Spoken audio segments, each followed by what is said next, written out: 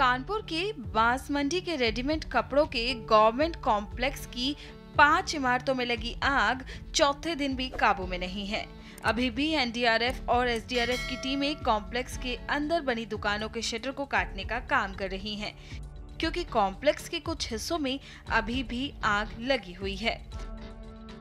वहीं शहर के एडीसीपी लखन सिंह ने बताया कि अभी भी इस आग पर काबू पाने का प्रयास जारी है।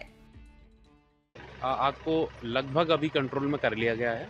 एनडीआरएफ एसडीआरएफ और फायर की जो टीम है, वो एक साथ मिलकर अब शटर बाय शटर दुकान बाय दुकान अंदर जाकर जो सामान जल रहा है, उसको उसकी जो आग है, उसको बुझाने का प्रयास कर रही है।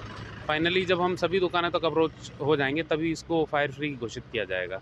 लेकिन अभी के लिए आग पर कंट्रोल है, जो छोटी मोटी कहीं लगती है, उसको तुरंत बुझा दिया जाता है। कितना समय देखिए, अभी सारी दुकानों को अंदर घुस के किस दुकान में क्या सामान है, उस हिसाब से पूरा अप्रोच करना पड़ेगा। अगर दिन में ऑपरेशन ठीक रहा तो शाम तक हम ये कह सकते हैं कि इनको पूरा ठीक से आग पर कंट्रोल कर पा लिया जाएगा। वहीं उत्तर प्रदेश के उप मुख्यमंत्री ब्रजेश पाठक ने कारोबारियों को हर संभव मदद देने का आश्वासन दिया है।